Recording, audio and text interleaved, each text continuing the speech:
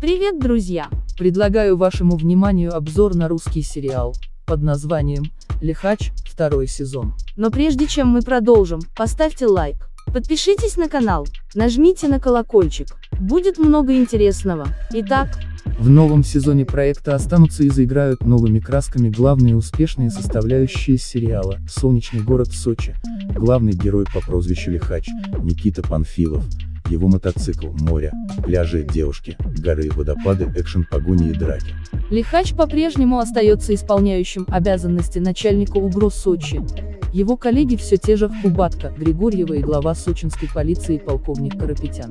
В сезоне останется противостояние между Лихачом и его старым врагом убийцей Очагавой, Полухин, который ждет приговора в СИЗО и однажды совершает дерзкий побег с этапа. Первый фильм начнется с погони на мотоциклах, в ходе которой Лихач, преследующий известного вора по набережной Сочи, не справится с управлением и падает вместе с мотоциклом в море. Герой отделается небольшой травмой, лечить которую он отправляется в кабинет ЛФК, где познакомится с тренером Женей Красавицей и умницей, в которую влюбится по ходу истории. Дерзкое ограбление и ранение олигарха на яхте в открытом море положат начало развитию напряженной интриги, которая будет разворачиваться в течение всей горизонтальной линии сезона. Важным новым событием в этом сезоне будет появление нового персонажа, полковника Свиридова. На протяжении всего сезона их соперничество и препирательство с лихачом составит нерв сюжета, сообщат динамику горизонтальной линии сезона и отдельным кейсом расследованием. Биография актеров – Никита Панфилов. Никита Панфилов – российский актер театра и кино, телеведущий. У популярного и востребованного артиста целая армия поклонниц. Его биография, фильмы и личная жизнь невероятно интересуют фанатов. Детство и юность. Никита Владиславович Панфилов родился в московской театральной семье 30 апреля 1979 года. По национальности он русский, а по знаку зодиака телец. Отец Владислав Владимирович, руководитель Московского театра охочих комедиантов. Мать, режиссер театра «Монотон». Также у Никиты есть брат Илья и сестра Анна. Такой творческой семьей неудивительно, что сын вырос за кулисами. Будущее мальчика было предопределено уже в пять лет. В этом возрасте он сыграл первую роль Ивана Царевича на сцене. И хотя в детстве Никита не мечтал стать артистом, мать уже видела в сыне звезду театра и кино.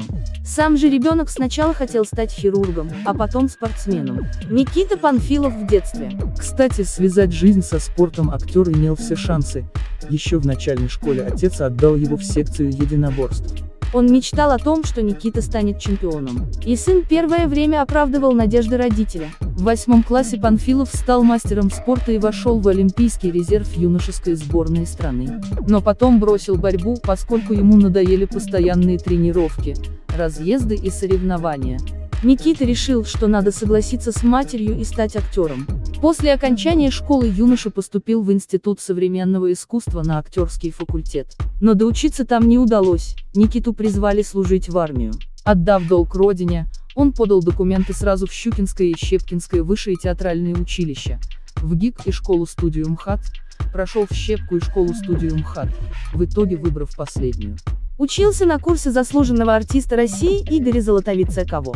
Обучение окончил в 2006 году. Личная жизнь. Личная жизнь Никиты Панфилова сложилась не сразу. В молодости он женился на актрисе Вере Бабенко, с которой учился в школе-студии МХАТ. Но брак просуществовал недолго и вскоре распался. Новое счастье постучало в дверь к Панфилову после знакомства с девушкой по имени Лада. Она работала администратором программы «Армейский магазин» и подбирала актеров для проекта. Никита пригласил Ладу на спектакль в театр «Сатирикон», а через год они поженились. В семье подрастал сын, которого родители назвали Добрыней. Актер присутствовал при появлении ребенка на свет и считает это испытание сложнейшим в жизни. В 2016 году СМИ заговорили о том, что пара разводится. Никита удалил статус «женат» в социальных сетях, а его супруга Лада Панфилова, по некоторым данным, даже сменила фамилию мужа. Оказалось, что пара разъехалась еще в 2015 -м. Никита Панфилов и Лада Панфилова. В конце того же года актер познакомился с девушкой по имени Ксения Соколова. Она медик по образованию, уроженка Петербурга. Общение началось в социальной сети. Вскоре девушка приехала в Москву в гости к актеру, и они быстро нашли общий язык. Совместные фото Никиты и Ксении вскоре часто начали появляться в Инстаграме. На момент знакомства Панфилов был еще официально женат. В 2016 году он получил развод от Лады. Как следует из одного интервью, жена актера первой решила расторгнуть брак, несмотря на старания мужчины сохранить его. Никита и Ксения Панфиловы счастливы вместе. По словам актера, избранница поддерживала его в трудные моменты развода, всегда находится рядом с ним во время съемок. Никита Панфилов и его жена Ксения Соколова. В конце 2016 года Панфилов рассказал представителям журнала Hello о трудностях общения с бывшей женой, заявив, что Лада превратила его жизнь в сущий яд. Артист предполагал, что экс-супруга стремилась разрушить его союз с нынешней возлюбленной. В интервью Панфилов утверждал, что пережил предательство Лады, но сумел переступить через себя и простить ее. С некоторых пор я общаюсь с Ладой только через адвоката. К сожалению, я допускаю, что негативная ситуация, которую нагнетает моя бывшая супруга, в дальнейшем может только усугубиться, отмечал он. Никита считал, женщина хочет, чтобы сын забыл отца. Лада первая подала документы на развод. Я бился за семью полгода. Таких мучений я никому не пожелаю, добавил Панфилов. Никита Панфилов с бородой. Спустя время после развода с Ладой Никита решился на оформление отношений с Ксенией. Пара посетила ЗАГС тайно, о свадьбе не знали даже родители актера. Но папарацци были проинформированы о торжестве, поэтому репортаж в тот же день появился на страницах таблоидов. Новость застала родственников и близких Панфилова врасплох. Мать даже обиделась на сына из-за того, что он не предупредил о важном событии. Тем не менее в семье артиста новую невестку приняли тепло. Как позднее комментировал мужчина, на штамп в паспорте он решился только по причине желания обвенчаться с избранницей. Актер с нежностью относится к третьей супруге и надеется, что этот брак окажется последним. Он часто балует вторую половинку романтическими подарками. Никита с Ксенией любят путешествовать по Европе, выезжать на лыжные курорты. Летом 2018 года в семье произошло радостное событие. Супруга подарила Никите дочь Аврору. Новость долго скрывали от общественности, о рождении ребенка Панфилов рассказал только осенью. Он также сумел наладить отношения с предыдущей супругой и с марта регулярно видится с сыном Добрыней Панфиловым. Театр и фильмы. Творческая биография Никиты началась в студенческие годы. Он дебютировал на сцене МХТ им, АП Чехова в роли Икара в спектакле Евгения Гришковца «Осада». Работа была благосклонно встречена критиками и зрителями. Трудясь в Амхате, Панфилов планомерно выстраивал карьеру профессионального актера. Среди его ролей были образы рыцаря Ганса в спектакле «Ундина», Степана в постановке «Женитьба», Никулина в театральном шедевре «С любимыми не расставайтесь» и многие другие. Будучи студентом, дебютировал актер и на экране. Первой киноролью молодого артиста стал Петр Черкасов в знаменитом сериале «Адъютанты любви». В героя Никиты, высокого, рост 180 сантиметров, вес 87 килограммов, и привлекательного основателя русской разведки, были влюблены все зрительницы. Мужчину стали узнавать на улице. И все же Панфилов в основном играл второстепенные роли. Наиболее удачные работы – Романтическая комедия «Любит, не любит».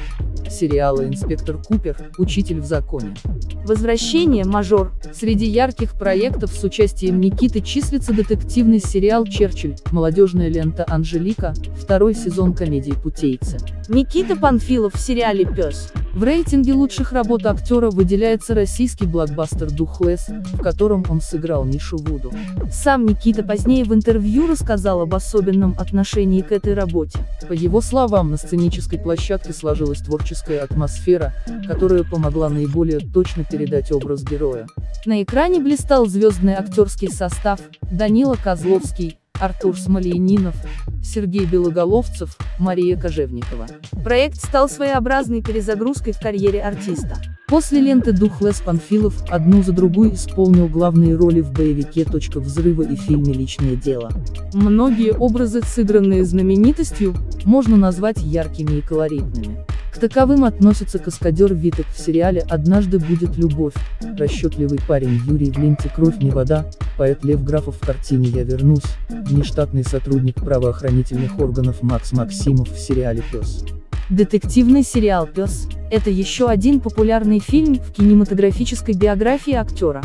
Известно, что во время съемок Панфилов получил травму. В эпизоде с трюком удар пепельницей по голове партнер Никиты, не рассчитав силы, нанес ему повреждения.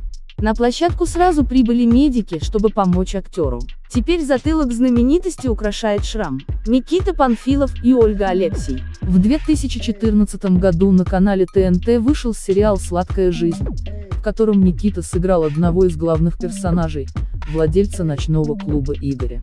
Проект имел грандиозный успех, получив продолжение в втором сезоне, а в середине 2016-го появилась третья часть. В этом фильме, как и в первом сезоне, актер играет Игоря, но теперь герой меняется в лучшую сторону и открывается со светлой стороны. По словам артиста, его работу на экране одобрили родственники, а единственный вопрос, который постоянно возникал у родных, почему он в кадре большую часть времени присутствует без одежды. На это Панфилов отвечал просто, роли бывают разные. Никита – один из самых опытных актеров среди всего состава «Сладкой жизни», но утверждает, что начинающие коллеги талантливые схватывают знания на лету. С ними интересно и легко играть. После «Сладкой жизни» у артиста прибавилось популярности и предложений от режиссеров. Между первым и вторым сезонами у него был плодотворный год. Никита снялся в нескольких проектах, среди которых «Мажор», «Вычислитель», «Лондонград», «30 свиданий». В последней комедии он работал с Натальей Медведевой. Кроме того, стал телеведущим двух документальных телепрограмм «Бастионы России» и «Земля героев». В мае 2017 года актер стал гостем проекта «Ты супер». На телеканале НТВ проходил завершающий этап полуфинальных соревнований вокального конкурса для детей, оставшихся без попечения родителей. 13-летний Руслан Чванько из Тобольска поразил членов жюри оперным вокалом с первого выпуска. Мальчик уже давно мечтал познакомиться с Панфиловым. Конкурсант рассказал, что представляет себя героем Никиты из своего любимого сериала «Пес». Это помогает Руслану чувствовать себя уверенно не только на сцене, но и быть смелым в жизни. Чванько пришел в полный восторг, когда Никита появился на сцене. «Руслан, ты супер, ты молодец, снимаю перед тобой шляпу, ты настоящий мужчина, в твоей жизни были очень серьезные испытания, но ты, не оглядываясь назад, идешь к новым высотам», сказал артист, подбодрив участника конкурса. Услышав теплые слова от любимого актера, подросток поверил в свои силы. Творческая жизнь Никиты не стоит на месте. Новым проектом в его фильмографии стала драма «Салют-7», в которой Панфилов примерил образ космонавта Игоря Зайцева. Фильм «Катастрофа» основан на событиях 1985 года. Тогда был осуществлен полет на мертвую космическую станцию для выяснения причин выхода ее из строя. Главных героев на экране представили звезды российского кино Владимир Вдовиченков, Павел Деревянко, Мария Миронова, Оксана Фандера, Александр Ратников. В 2018 году с участием Панфилова вышел очередной сезон сериала «Пес», завершились съемки детектива «Презумпция невиновности». Он также работал над тремя фильмами, где сыграл главные роли. Это криминальный сериал «Пуля», в котором персонаж Никиты, офицер ГРУ, расследует дело гибели своей матери, детективная ретродрама «Победители», где прототипом его героя стал адвокат Федор Плевака, живший в Санкт-Петербурге в конце XIX века. В этой же картине задействован актер Никита Ефремов. В конце января 2019 года Никита Панфилов стал героем передачи «Судьба человека» с Борисом Корчевниковым. Он откровенно рассказал о детстве, личной жизни, отношениях с сыном и карьере. В этом же году в Сочи завершились съемки сериала «Лихач» для телеканала НТВ. Остросюжетный детектив рассказывает о следователе Сергее Сотникове. Его называют лихачом за брутальный характер, жесткие методы работы и бесстрашие. У Сотникова есть реальный прототип. Это следователь, который работал в сочинской милиции в 90-е годы. Он бил рекорды по раскрываемости, ни один преступник не оставался безнаказанным. А еще Сергей любил скорость и машине предпочитал мотоцикл. Сериал получился зрелищным. Никита справился с ролью брутального следователя блестяще. Проекте много экшн-сцен, взрывов, перестрелок, погонь. Никита Панфилов сейчас на карантине, вызванном пандемией коронавирусной инфекции, актер ушел в вынужденный отпуск. Но временно самоизоляции зря не терял, занялся садоводством. В своем микроблоге он похвастался подписчикам, что пересадил тюльпаны и выкопал сорняки. Помогала ему в этом дочь Аврора Панфилова. Июнь 2020 года Никита посвятил съемкам телесериала «Пес». Ожидать выход пятого сезона поклонникам можно было уже в сентябре. Детективу Максу Максимову и его верному четырехлапому другу предстоит снова распутывать сложные дела и вытаскивать друг друга из передряг. Режиссер картины Николай Каптан рассказал, что в сюжете есть интересные ходы, которые касаются отношений главного героя с Еленой Леонидовной. Он также отметил, злодеи станут более изощренными в своих преступлениях, поэтому Максимову придется нелегко в борьбе со злом. Актерский состав пятого сезона остался прежним. Помимо Панфилова, в него вошли Ольга Алексей, Михаил Жонин и Андрей Саминин. Роль пса досталась овчарке по кличке Мухтар. В августе актер вместе с семьей спонтанно отправился в мини-отпуск в Новороссийск. Остановился Никита в гостинице «Русь». За три дня он успел побывать на мыс Хака и в широкой балке, искупаться в море, посмотреть достопримечательности. По словам знаменитости, отдых удался. Никита Панфилов с дочкой в 2020-м Панфилов снялся в сериале «Презумпции невиновности». Также состоялась премьера исторической многосерийной ленты «Грозный» об эпохе Ивана Грозного, в которой актеру досталась роль боярина Ивана Петровича Федорова Челяднина. Немало работы у него и в театре. Никита публикует фото и сторис в Инстаграме. Страница актера используется только в личных целях. Он не делает рекламу, поэтому следить за ней особенно интересно. Там даже можно увидеть фотографии, где Панфилов с волосами, но поклонникам больше нравится, когда он лысый. Это прибавляет ему брутальности. Официального сайта у артиста нет. Однако все новости, связанные с его творческой деятельностью, публикуются во ВКонтакте. Мария Сандлер Биография Мария Сандлер, актриса российского театра и кино. В послужном списке исполнительницы, как роли второго плана, так и главные. Артистка с легкостью перевоплощается в героинь с разными характерами, судьбами комических и драматических. Но главное амплуа петербурженки – образ сильной, уверенной в себе и не лишенной романтики женщины. Детство и юность о детских и подростковых годах в биографии Сандлер, родителях, семье почти ничего не известно. Мария родилась 12 июля 1986 года. С ранних лет девочка демонстрировала артистизм, любила выступать перед публикой.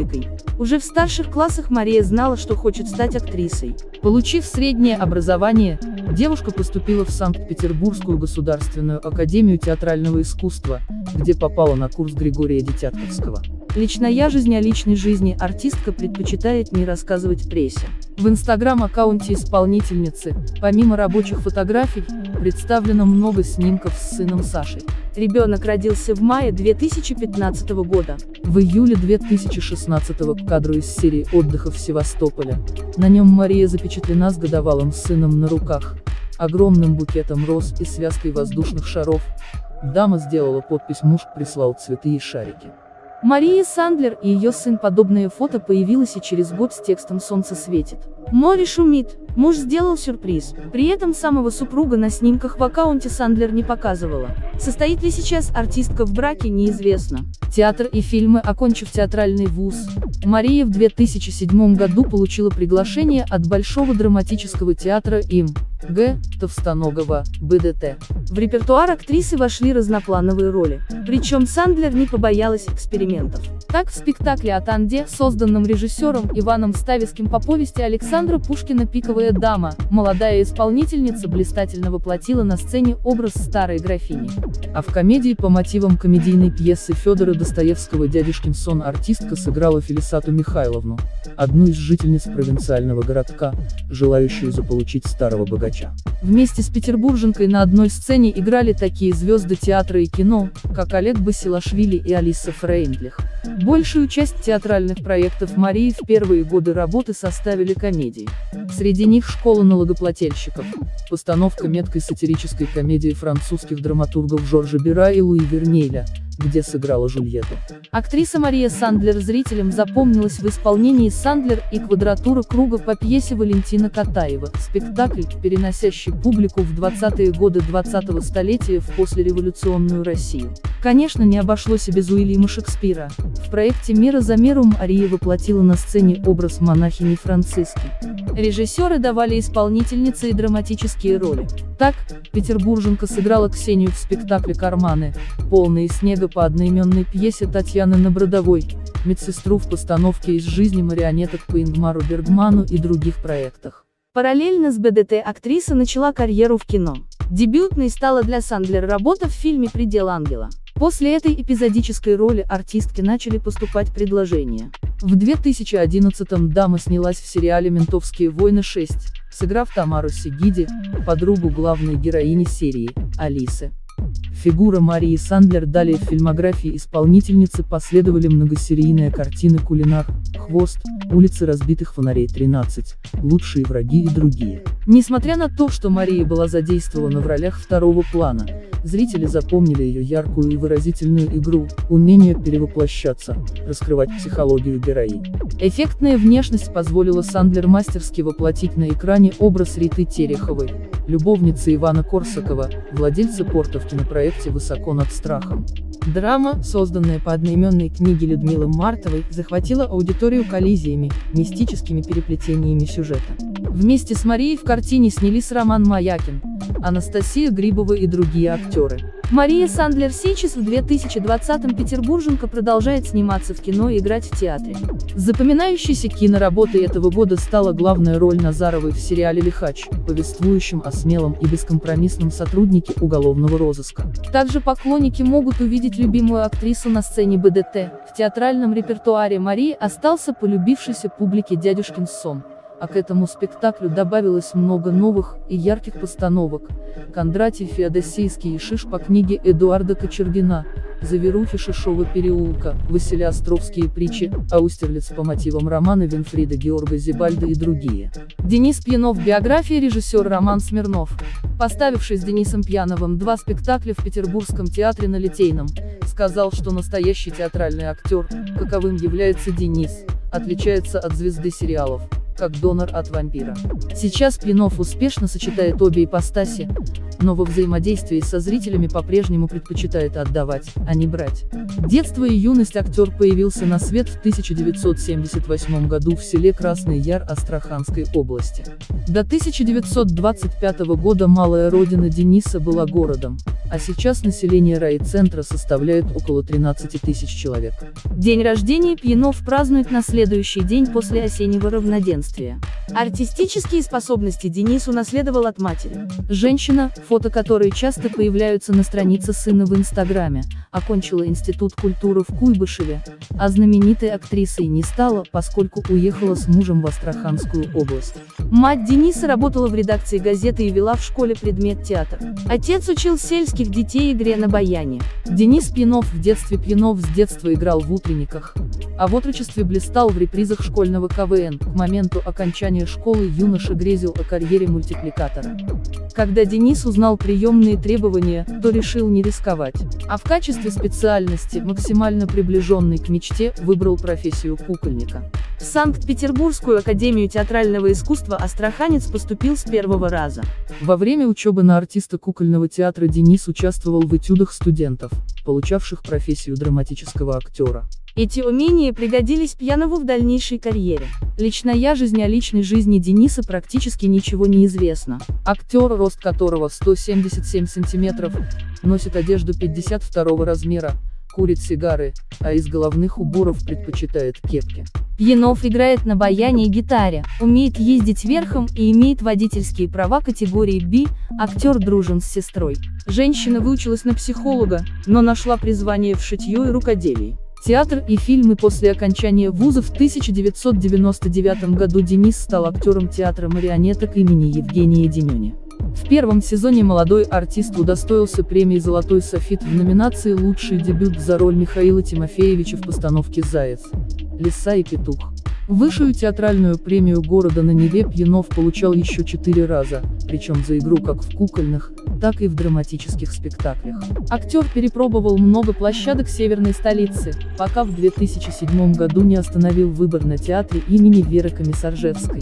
В репертуаре Дениса разноплановые роли в постановках по произведениям Александра Володина, Жана Батиста Мольера, Валентина Красногорова и других классических и современных авторов. Актер привык доверять режиссерам, а в поисках вдохновения обращается к случаям из своей жизни и пересматривает записи спектаклей с участием Евгения Леонова, Эраста Гарина и Анатолия Попанова. Ольга Василевская и Денис Пьянов в молодости на экранах Пьянов дебютировал в 2003 году в сериале Армина Назикяна «Удачи тебе, сыщик». Затем последовали большие и маленькие роли в многосерийных проектах «Ментовские войны», «Улицы разбитых фонарей», «Хроника гнусных времен» и «Знахарь». В сериале Троцкий Денис перевоплотился в Григория Зиновьева. Персонажа еврейской национальности, швейцемана, артисту довелось сыграть и в многосерийном детективе «Рыцарь нашего времени», в котором блистали Евгений Пронин, Алексей Вакулов и Кира Кауфман. В сериале «Тень за спиной», рассказывающем о поиске серийного убийцы, Янов создал образ Марата Хосякова. Лента, перекликающаяся с биографией ангарского маньяка Михаила Попкова, снималась летом 2018 года в Санкт-Петербурге, а зрителям была впервые показана осенью 2019 года. Денис Пьянов сейчас в 2020 году из-за пандемии коронавирусной инфекции в игре Дениса в театральных спектаклях возник полугодовой перерыв. Зато фильмография актера существенно пополнилась. За месяц до введения карантинных мер на канале ТНТ состоялась премьера сериала «Война семей», в котором Пьянов исполнил второстепенную роль Коля. Рабочее название комедии, снято Ильей Форфелем и Евгением Корчагиным, «Заклятые друзья». В короткометражном фильме второго из этих режиссеров «Камбэк», вышедшем на экраны в 2019 году, Денис создал образ артиста Сергея Ольховского, ради получения главной роли в перспективном проекте притворяющегося геем. Герои войны семей Михаил и Дмитрий, дружащие с детства и имеющие совместный бизнес, играют свадьбу детей. Однако вскрывшиеся на торжестве секреты прошлого превращают новоявленных родственников во врагов. Персонажей в зрелости сыграли Егор Бероев и Александр Рабак, а в молодости – Анар Халилов и Арсений Рабак. Режиссер Роман Смирнов и Денис Пленов другим значительным проектом, в котором принял участие Пленов, стал сериал «Лихач», рассказывающий о сыщике, поддерживающем порядок в городе-курорте Сочи при помощи не только выдающихся разыскных способностей, но и быстрого перемещения на мотоцикле. Компанию Денису в ленте составляют партнер по театру Именев, комиссар Жевской Артур Мкачан и актриса Мария Сандлер, играющая в БДТ имени Георгия Товстоногова. Также в 2020 году зрители увидели Пьяного в сериале «И снова будет день» и кинофильме «Марафон желаний». В первой ленте Денис играет главного редактора, а во второй – сотрудника аэропорта. Ольга Павлюкова Биография, внешность и артистический диапазон Ольги Павлюковой позволяют перевоплощаться в озорных девчонок и принцесс недотрог. Актриса востребована театральными режиссерами и постановщиками сериалов. Отличительная особенность Павлюковой – трепетное отношение к каждой роли и благодарность к партнерам по сцене и съемочной площадке. Детство и юность актриса появилась на свет 11 февраля 1992 года в городе на Неве, которому за пять месяцев до рождения Ольги вернули имя Санкт-Петербург. В детстве Павлюкова занималась балетом, окончила музыкальную школу по классу фортепиано и приняла решение связать биографию с театром и кино. Ольга Павлюкова с отцом с 6 по 11 класс Оля училась на театральном отделении лицея искусств Санкт-Петербург, в выпускном классе которого получила приглашение сняться в сериале «Семейный дом». Для исполнения роли девочки-подростка Никиты, всю жизнь прожившей в детском доме, дебютантки отстригли длинные волосы и перекрасили шевелюру. Девушка чувствовала себя непривычно в новом образе и при поступлении в театральную академию была несколько скованной. По результатам творческих испытаний Павлюкову согласились принять только на платной основе, что было неприемлемо для нее. Будущая звезда сериалов уже собралась забирать документы, как выяснилось, что одна из абитуриенток, поступившая на бюджет, не сможет учиться, и Ольгу взяли на ее место. Павлюкова попала на курс Юрия Гальцеева. Наставник трепетно относился к своим подопечным, проводил со студентами много времени, а тех, кто, как Ольга, смог раскрыть потенциал, взял работать в театр, которым руководит. Однокурсницей Павлюковой была Алена Савастова. Актрисы, вместе работающие в театре эстрады имени Аркадия Райкина, дружат и сейчас. Ольга гуляла на свадьбе Алены и Степана Бекетова и выложила фото с торжества в своем аккаунте Инстаграма. Личная жизнь о личной жизни актрисы известна мало. Ольга уверенно чувствует себя как за рулем автомобиля, так и в седле велосипеда. Павлюкова любит как путешествие, так и время, проведенное с родителями и маленькой племянницей. Ольга Павлюкова в купальнике в 2020 году, во время карантинных ограничений, Артистка впервые в жизни позагорала на пустыре рядом с домом. Раньше она, несмотря на стройную фигуру, полагала, что показываться в купальнике где-то, кроме пляжа, неприлично. Рост Ольги – 169 сантиметров, Однако в Инстаграме изредка встречаются снимки с высоким бородатым парнем по имени Андрей, рядом с которым актриса кажется дюймовочкой. Кем Павлюковой приходится Андрей, неизвестно. Театр и фильмы в театре, в котором служит Ольга, преобладают легкие веселые спектакли, в которых исполнители много танцуют и поют. Актриса гордится своими ролями в постановках «Крокодил души моей» и «Искусство жениться». Кроме спектаклей театра имени Аркадия Райкина, Павлюкова участвует в антрепризах. Наиболее известной антрепризной работой Ольги стала «Бульвар», или у каждого свои недостатки на сцене театра комедии имени Николая Акимова, главную роль в котором исполнил легендарный Портос из телевизионного фильма Георгия Юнгвальд Хилькевича Д'Артаньян и «Три мушкетера» Валентин Смирницкий. Помимо семейного дома, на съемках которого Павлюковой посчастливилось пересечься с маститыми актерами Валентином Гафтом, Светланой Крючковой, Андреем Мерзликиным и Михаилом Париченковым. В интервью она часто упоминает сериал Владимира Бортко о любви. Денис Пьянов и Ольга Павлюкова в сериале «Лихач», хотя роль Ольги была второстепенной, артистка перевоплотилась в подругу главной героини Ларису, но для участия в ленте девушке пришлось выучить монолог. Г на китайском и сниматься на набережной Санкт-Петербурга при температуре минус 25 градусов. Со смехом Павлюкова вспоминает постельную сцену с персонажем Алексея Чадова, снятую в кромешной темноте, так что изображать восторги любви им пришлось исключительно голосом. В чужом лице актриса сыграла лейтенанта Викторию Мелешко, а в Невском – наркоманку Ленку. Также в фильмографии Павлюковой есть сериалы «Личные обстоятельства» и «Мажор-3». Ольга Павлюкова сейчас летом 2020 года канал НТВ показал сериал «Лихач», кадры со съемок которого Ольга выкладывала в Инстаграме. Зрителям понравились панорамы Сочи, где разворачивается действие детективно-комедийного боевика. Однако актерские работы Павлюковой и ее коллеги Дениса Пьянова получили неоднозначную оценку. Многим зрителям показалось, что артисты, сыгравшие коллег полицейских, переборщили с клоунадой и в образах стражей правопорядка выглядели недостаточно убедительно. Артур Мкрчан Биография кажется, к Артуру Мкрчану природа оказалась особенно щедрой. Помимо успешной карьеры в театре и кино, он весьма преуспел и в музыке, став композитором множества спектаклей и постановок. 24 августа 2020 с его участием, а также с Никитой Панфиловым, Марией Сандлер и Денисом Пьяновым вышел новый многосерийный детективный фильм «Лихач», повествующий о настоящем герое Сочи, заместителе начальника уголовного розыска Сергея Сотникове. Детство и юность 12 августовский день 1975 оказался счастливым для Карена Мкрчана, проживавшего в Ереване, любимая супруга подарила ему сына Артура. И хотя исчерпывающая информация о семейной биографии не предоставлена, благодаря личным страницам актера в социальных сетях можно узнать, как выглядят его родители и другие близкие люди. А в персональном аккаунте в Фейсбуке и вовсе указаны ссылки на сестер Лауру и Люсю и брата Ашота.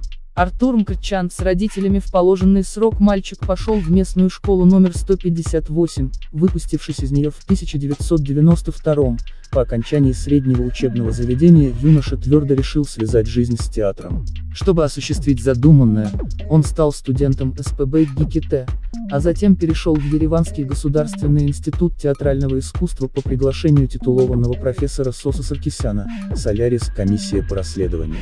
В 2001 артиста принял в свои крепкие объятия Петербургский академический драматический театр имени Веры Комиссаржевской, где тот верой и правдой служит и сейчас. Личная жизнь 16 мая 2015 в личной жизни Мкрчана и его супруги Марии Сандлер случились счастливые перемены. В 21 час 55 минут весом 3360 год и ростом 55 сантиметров у них родился сын Александр. Избранницу артиста внимательный зритель мог заметить в телесериалах «Ментовские войны». 6 улицы разбитых фонарей, 13 великолепная пятерка. Два в спектаклях БДТ имени Георгия Товстоногова, где актриса пребывает с 2007 -го. На личной странице женщины в Фейсбуке можно найти фотографии со свадебного торжества, а в персональном аккаунте в той же соцсети ее мужа, с таинства крещения наследника. Артур Каренович обожает своих друзей и коллег. Кажется, что чаще всего в его профиле в Инстаграме мелькают совместные публикации с Егором Бакулиным и рыбалку.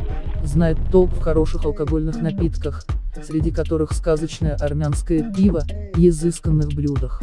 Однако главная его страсть, помимо театральной и кинематографической деятельности, это музыка. Актер виртуозно владеет гитарой, сам пишет мелодии и некогда даже давал концерты в составе дуэта Арткаша. Доподлинно неизвестно, приходится ли он родственником легендарному Фрунзику Мкрчану.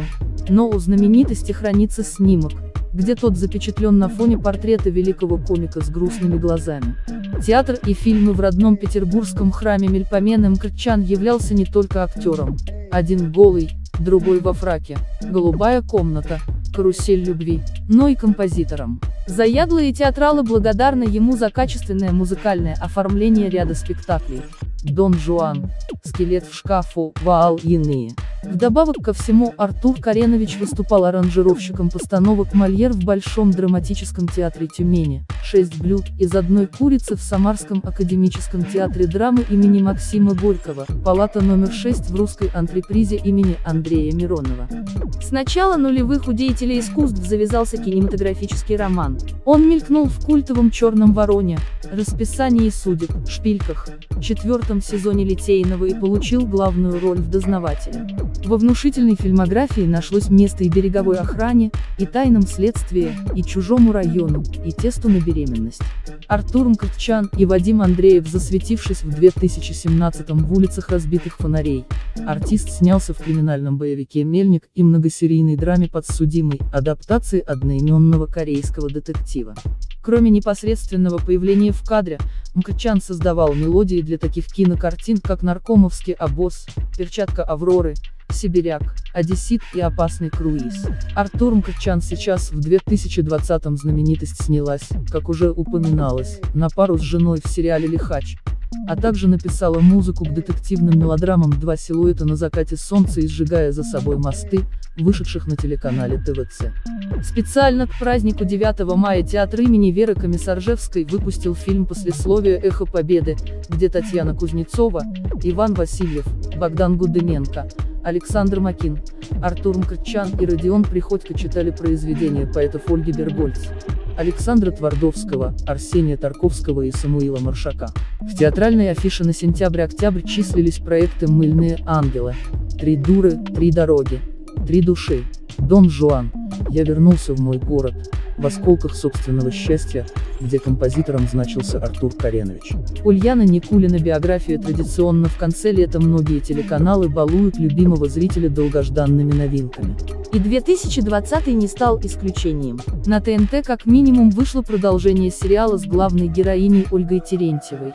Яна Троянова, в котором уникальным способом нашла достоверное отражение российской действительности.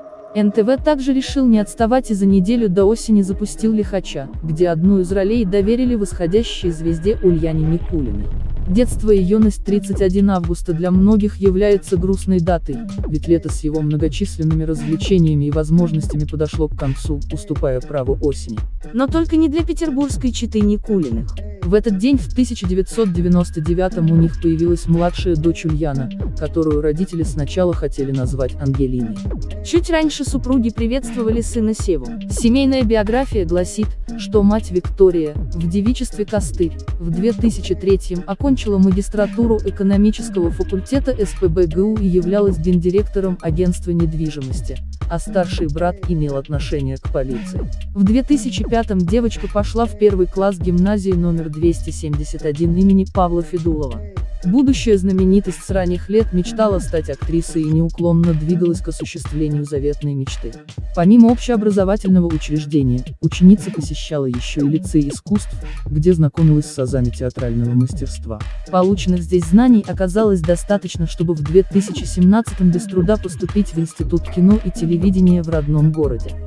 Студентке посчастливилось попасть в мастерскую заслуженного артиста РФ Евгения Ганелина, прославившегося ролью обаятельного Жоржа стажера любимого в телесериале «Убойная сила». Под руководством мудрого наставника девушка блистала в музыкально-пластической композиции по карикатурам Ферлофа «Битструпа скамейка», спектакле «Приключения Нильса с дикими гусями» и иных постановках. Личная жизнь сердца хрупкой голубоглазой красавицы, чем-то внешне напоминающей коллегу Анастасию Уколову и периодически принимающей участие в фотосессиях в качестве модели, несмотря на юный возраст, сейчас уже занята.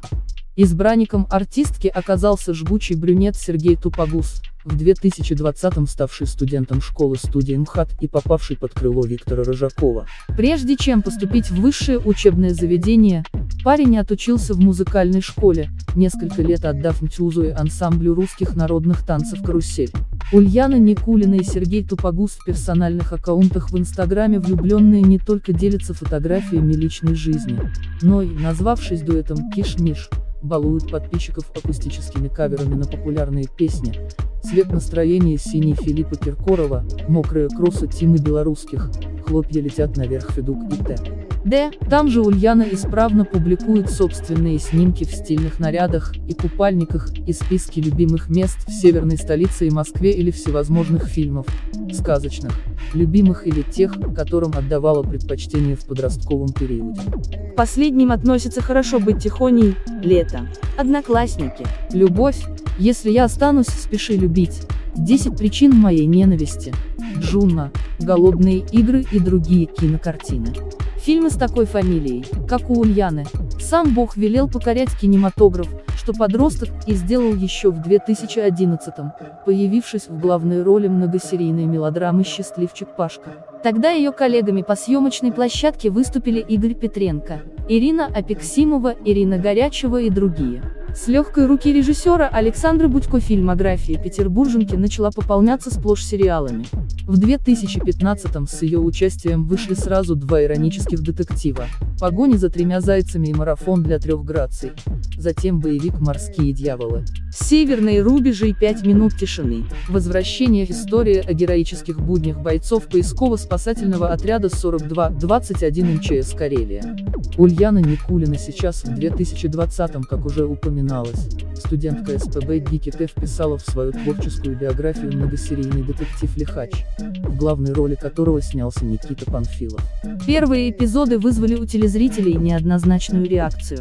Одни считали, что работа до жути напоминает очередной сезон «Пса». Другие, наоборот, утверждали, что кинокартину спасли завораживающие виды Сочи и убедительное перевоплощение актера, сыгравшего персонажа Сергея Сотникова. Екатерина Зорина Биография Екатерина Зорина, популярная актриса российского театра и кино. Яркая игра исполнительницы на сцене и на экране восхищает зрителей, сыгранные ею женские образы получаются фактурными, колоритными и запоминающимися, даже если они эпизодические. Сейчас в репертуаре артистки разноплановые роли, среди которых преобладают драматические. Детство и юность о детских и подростковых годах в биографии Екатерины практически ничего не известно. Она родилась 23 мая 1986 года в Санкт-Петербурге, с ранних лет проявляла талант, артистизм.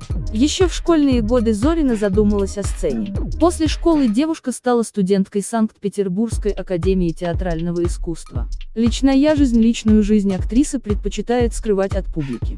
В одном из интервью женщина отметила, что информацию такого рода могут знать только она сама и родные, как можно кричать на весь мир о своем личном счастье. Нет, я так не могу. Даже с близкими подругами исполнительница не делится сердечными тайнами, так как не видит в этом смысла. Некоторые источники сообщают, что Екатерина успела побывать замужем, родить дочь Василису от супруга, который также имел непосредственное отношение к актерской сфере. После расставания с мужем Зорина стремится провести свободное время с ребенком, часто берет девочку на репетиции. В открытом доступе при этом нет фото исполнительницы с семьей. Петербурженка не появляется в скандальных новостях, не выставляет снимки в купальниках, при том, что с красивой фигурой и высоким ростом, 176 сантиметров, легко могла бы это сделать. Театр и фильмы Окончив театральную академию, девушка сразу оказалась востребованной в храмах Мельпомены Италии. Первым в актерской карьере петербурженки стал театр «Балтийский дом». Здесь молодая артистка исполнила роль Хелен, супруги поэта Евгения Евтушенко, в биографической драме «Возвращение в любовь». В 2012 году Екатерина получила предложение от приюта комедиантов и театра сатиры на Васильевском. В первом актриса сыграла в пронзительном спектакле «Варшавская мелодия Гелю», приехавшую в послевоенную Москву из Польши учиться музыке. По сюжету девушка влюблена в Виктора, пара собирается пожениться. Однако планы молодых людей нарушают указ 1947 года, запрещающий советским гражданам вступать в брак с иностранцами. В театре на Васильевском в репертуар Зориной вошли роли в спектаклях, поставленных по произведениям русской классической литературы.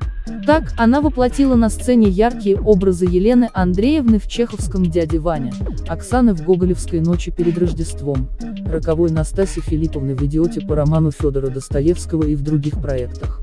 Екатерина Зорина и Кирилл Ульянов также Екатерина сотрудничает с театральным центром на Коломенской. В комедии «Положение пижама для шестерых», созданной на основе пьесы драматурга Марка Камалетти, исполнительница предстала перед зрителями в роли очаровательной Бриджит любовницы Бернара. Планируя свидание с красоткой, герой неожиданно встречается с собственной женой Жаклин и другом Робером. Поняв, что его планы могут раскрыться, неверный муж просит приятеля представить Бриджит как его подругу. Несчастный не знает, что жена уже изменяет ему с Робером. Дальнейшие события становятся все более запутанными и смешными. Зориной удалось органично вжиться в комедийный образ содержанки. С 2011 года параллельно с театральной деятельностью Екатерина начала работать в кино. Первой для артистки стала роль Пуси в серии «Крестный отец» фильма «Агент особого назначения» 2. В начале кинокарьеры исполнительница играла девушек легкого поведения или любовниц криминальных авторитетов. В основном это были эпизодические появления на экране. Позднее в фильмографии Зориной появились и главные роли, например, Людмила в детективном сериале «1». По сюжету супруг, ее героини Роман Одинцов, работая в оперативном отделе, вступает в конфликт с начальством. За этим следует увольнение сотрудника, что приводит не только к потере работы, но и потере семьи, Людмила и Роман разводятся. Екатерина Зорина и Михаил Николаев, однажды Одинцов встречается со старым товарищем, а вскоре находит мужчину убитым. Начиная расследовать преступление, детектив понимает, что за этим стоят представители мощной теневой структуры. И теперь бывшему оперативнику нужно спасти свою жизнь и жизнь родных. В 2019 году на экранах появилась комедия «Есть нюансы», в центре повествования которой история одного психолога оригинала Александра Круглова. Имея большой опыт работы с пациентами, доктор приходит к выводу, что лучше всего справиться с личными проблемами помогает намеренное вовлечение человека в пугающую его ситуацию. Среди клиентов сумасшедшего ученого и семейная пара. Супруги Чепиковы Сергей в исполнении актера Андрея Зайцева и Елена в исполнении Зориной пытаются создать видимость идеальной семьи, на самом деле между некогда близкими людьми полная дисгармония. Мужчина все еще влюблен в благоверную, жена же считает, что Сергей недостоин ее. При этом она не перестает изводить супруга ревнивыми истериками. Больше всего страдает сын Чепиковых Костя, вынужденный включиться в игры родителей и поддерживать иллюзию семейного счастья. Екатерина Зорина сейчас в 2020 году актриса продолжает играть в театре и сниматься в кино. В марте вышел многосерийный фильм «С тобой хочу я быть всегда», в котором исполнительница сыграла одну из главных героинь. Кирилл Полухин Биография Благодаря характерной внешности Кириллу Полухину чаще всего предлагают роли полицейских, военных, бизнесменов или криминальных авторитетов. А в обычной жизни он добрый и отзывчивый человек совсем не похожи на экранные образы. Такое несоответствие – признак актерского таланта, который помогает Кириллу перевоплощаться в отрицательных героев. Детство и юность Кирилл Алексеевич Полухин родился под знаком зодиака Телец 3 мая 1968 года в Ленинграде. Семья была далека от театра и кино, мать в молодости была стюардессой, отец – капитаном дальнего плавания. Родители расстались вскоре после рождения сына. Кирилла воспитывал отчим, которого он долгое время считал родным отцом. По его примеру Полухин готовился поступать в мединститут, Николай Васильевич был уважаемым в городе дантистом и успел привить юноше любовь к медицине. После окончания школы парень поступил в медицинское училище, откуда был призван на службу в армию.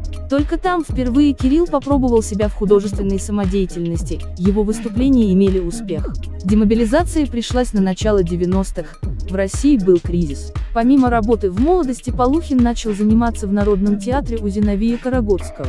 Неизвестно, как сложилась бы биография Кирилла, если спектакль с его участием не посетил бы Андрей Толубеев, талантливый актер БДТ и педагог. Он уговорил Полукина получить высшее актерское образование. В возрасте 25 лет Кирилл стал студентом Ленинградского государственного института театра, музыки и кинематографии. На курс его взял Толубеев, но экзамены парень сдавал на общих основаниях. Личная жизнь Кирилл Полухин стабилен в плане отношений с женским полом, его личная жизнь оказалась связанной с творческой.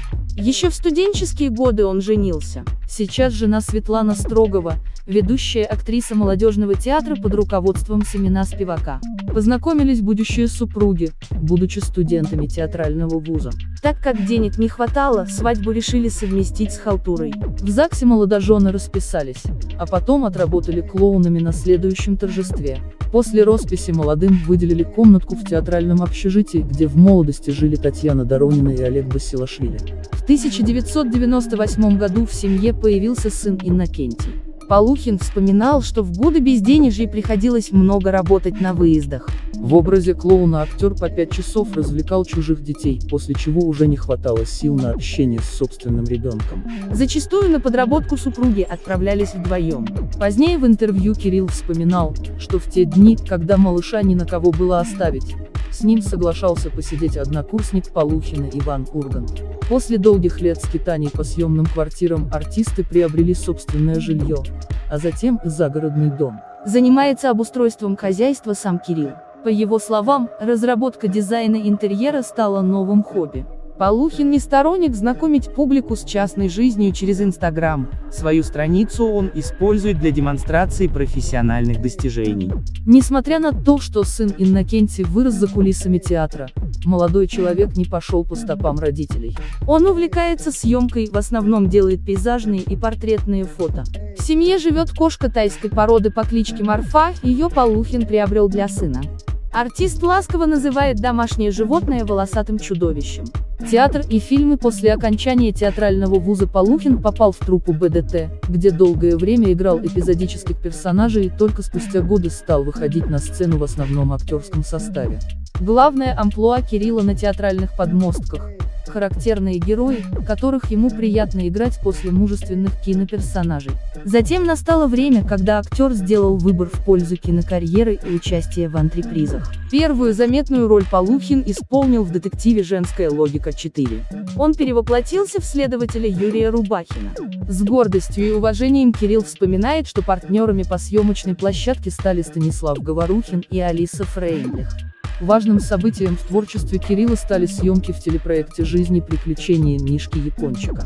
В сериале Полухин сыграл Григория Котовского, политического деятеля СССР, смерть которого окутана тайной. Артист вспоминает, что не хотел соглашаться на роль из-за отсутствия внешнего сходства с героем, но режиссеру удалось его уговорить. Яркой работой с участием Полухина стал криминальный сериал «Чужой район», в котором он перевоплотился в напарника героя Дениса Рожкова. Оперативных работников артист играл в проектах БС, дознаватель, майор.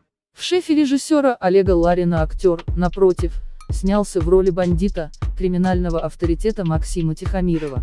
Ему приходится противостоять главному персонажу в исполнении Андрея Чупченко. В 2015 году на экраны вышел фильм «Батальон о женских батальонах смерти», созданных в Первую мировую войну.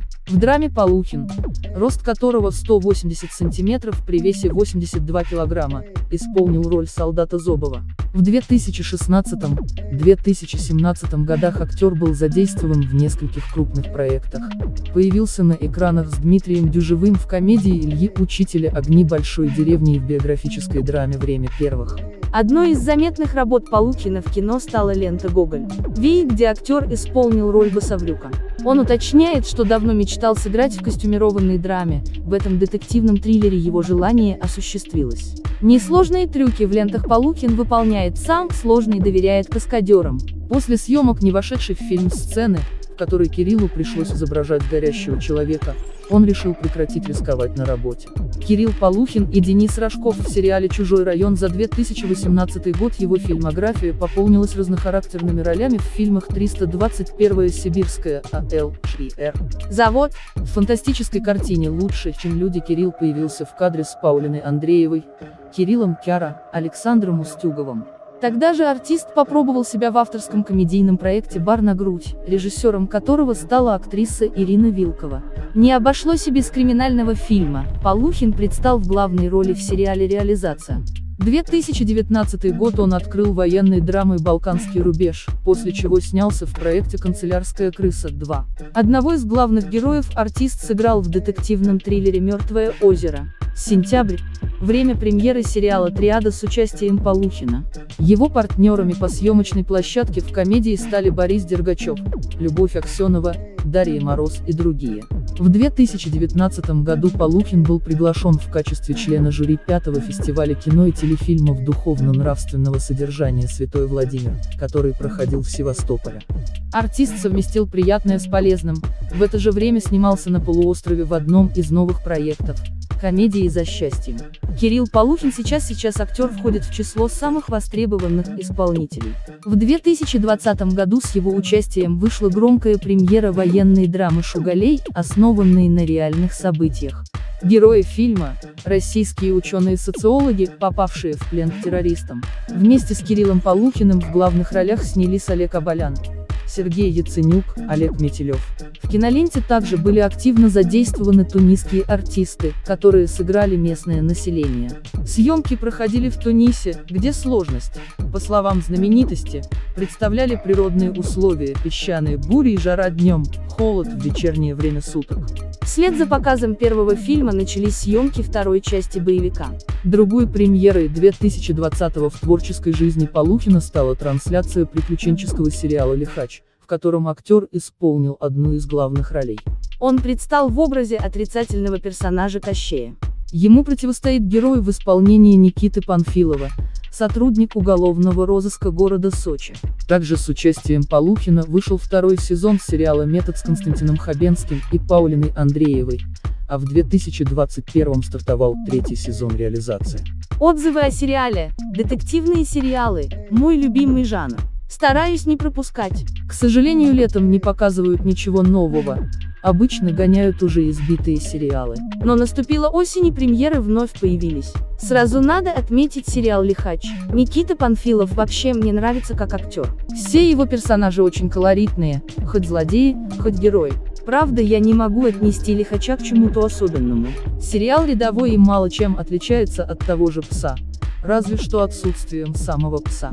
Напротив, главный герой по фильму не любит собак. Все остальное смотрится очень по-рядовому, хотя сюжет довольно интересен. А вот Никита Панфилов очень хорошо поднимает интерес к фильму. Его разговоры и общение с преступниками просто шедевр. Помимо Панфилова в сериале заняты и другие известные актеры.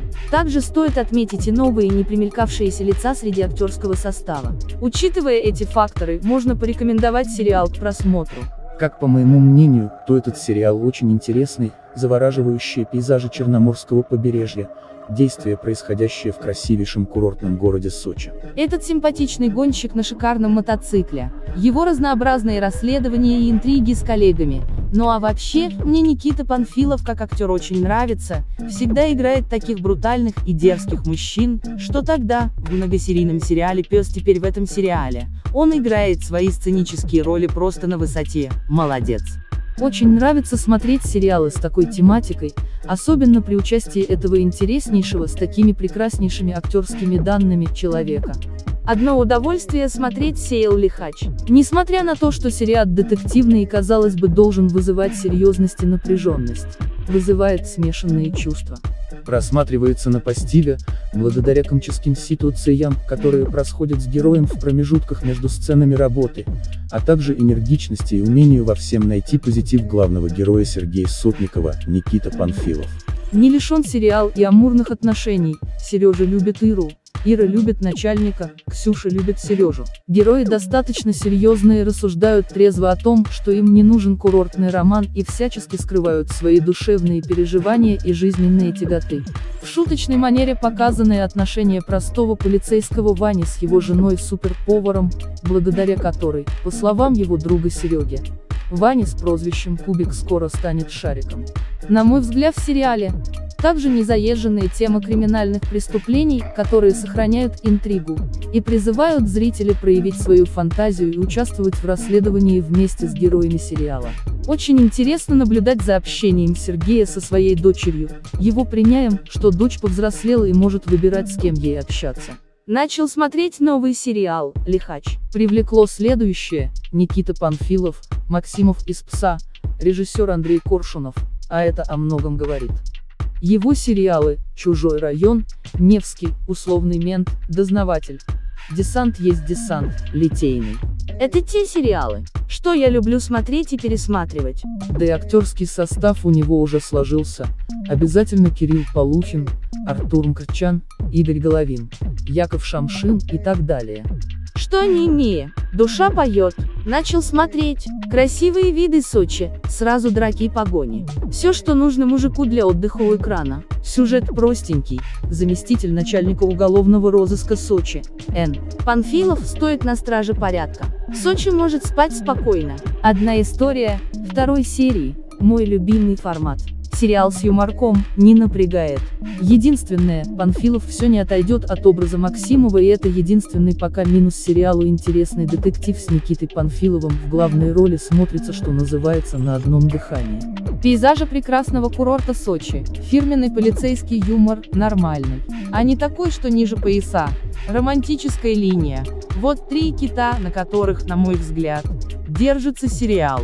Интересные герои второго плана, напарник Сотникова по кличке Кубик и его супруга, бедная девочка Ксюша, которой помыкает как хочет Сотников и колоритный начальник уголовного розыска Вазген Саркисович. Каждый из них обладает своей интересной фактурой и гармонично смотрится на своем месте. Рекомендую смотреть тем, кто хочет ненапряжного зрелища вечером.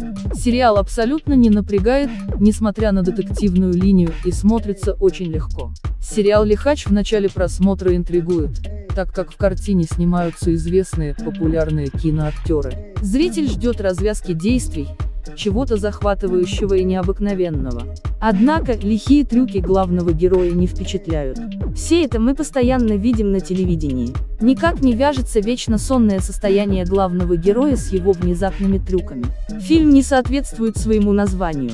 Нет нужного напряжения и переживания. Возможно, если бы в главной роли снялся другой, более энергичный в жизни актер, было бы интереснее. В настоящее время имеются большие возможности в выборе музыки. Можно было дополнить сериал хорошей новой песней, которая могла бы тронуть душу. Этого не произошло, и музыкальное сопровождение тоже не впечатляет. Картина посредственная. Ну что я могу сказать о сериале «Лихач» в главной роли Никита Панфилов, который сыграл заместителя начальника уголовного розыска в городе Сочи, Сергея Сотникова. Легкий, не ненавязчивый детективчик с простым сюжетом, который можно смотреть, а можно слушать, занимаясь своими домашними делами. Сериал снят в 2020 году, детектив, в нем 20 серий, транслирует НТВ. Я когда смотрела первую серию мне все время казалось, что сейчас выскочит пес. Никита, конечно, как всегда, брутальный мачо, мечта женщин и красная тряпка для мужчин. Ничего не могу с собой поделать, нравится мне этот мужчина. Но вот как-то сериальчик не очень захватил, скучновато. Честно говоря, если бы не главный актер, даже не стала бы смотреть. Не люблю длинные сериалы, потому как в них постепенно сюжет начинает высасываться из пальца и даже неплохой в начале детектив может превратиться в мыло. Именно поэтому я чаще смотрю только первые серии 20, а потом бросаю. Идея изначально была неплохой, начиная со смещения места с традиционных Москвы и Петербурга на Сочи. Авторы попытались добавить в сериал местный колорит, но то, что получилось, напомнило мне город-герой Одессу. Детективная часть сериала мне понравилась. По крайней мере, можно было под это спокойненько вязать, но когда начались разборки кто кого любит и кто с кем спит, мое терпение лопнуло. Если бы я хотела посмотреть мелодраму, я бы ее включила. Актер главной роли лично для меня относится к категории актеров, которые всегда играют одно и то же, просто костюмы, имена и сюжеты меняются. Никакого особого восторга я по его поводу не испытываю. Лично я тратить свое время на вот это вот больше не буду, хотя могу порекомендовать тем, кто любит затяжные сюжеты. Интересный детективный сериал с элементами юмора. Смотрится легко, нет крови, жестокости и прочих ужасающих эффектов. И даже в морге патологоанатом не ест и не пьет чай по соседству с трупами, как это сейчас модно показывать. Каждая серия – новая детективная история. Все серии объединены одним сквозным сюжетом. Красивые южные пейзажи придают дополнительные положительные эмоции. В главной роли Н. Панфилов. Нравится этот актер. В сериале 20-х серий, но от сериала не устала, смотрела с удовольствием. Вчера только начала смотреть новый российский детективный телесериал 2020 года под названием «Лихач», который сейчас выходит на НТВ. Пока что сериал меня вполне устраивает. Правда ни о какой оригинальности здесь речи не идет, просто приятная новинка для любителей жанра. Сюжет, сюжет сериала повествует о подполковнике полиции, который расследует преступления, совершаемые на территории Сочи, гоняя при этом на мотоцикле. Актерский состав в сериале задействован вполне приятный и относительно знакомый мне актерский состав. Никита Панфилов, «Сладкая жизнь», «Пес», Ольга Павлюкова, «О любви», «Чужое лицо», Денис Пьянов, «Высоко над страхом», «Шторм» и другие. Мнение серии длятся минут по 50, расследования ведутся в интересной манере, есть здесь место и для юмора, забавных моментов. Мне импонирует главный герой, правда он весьма похож на героя актера в сериале «Пес». Правда бородка его подбешивает. А так отличный мужчина, симпатичный, приятный и мужественный, да к тому же профессионал своего дела. Проект легкий, позитивный, жизненный. Ну и расследование я тоже люблю. Детективная составляющая мне тоже нравится, пока что довольна. Вывод, могу посоветовать посмотреть детективный телесериал «Лихач» абсолютно всем поклонникам подобного жанра или сюжетов без исключения. Мне сериал «Лихач» понравился. Яркий актер, Н. Панфилов, остро-детективный сюжет, психологические портреты героев написаны угольком, а потом покрыты акварелью. Поэтому ждешь от героя одного действия, а он выдает другое. И думаешь, что поступает он как-то нелогично. Я о главной женской линии, следователь из Москвы. Любит ли она своего женатика или боится потерять теплое место работы?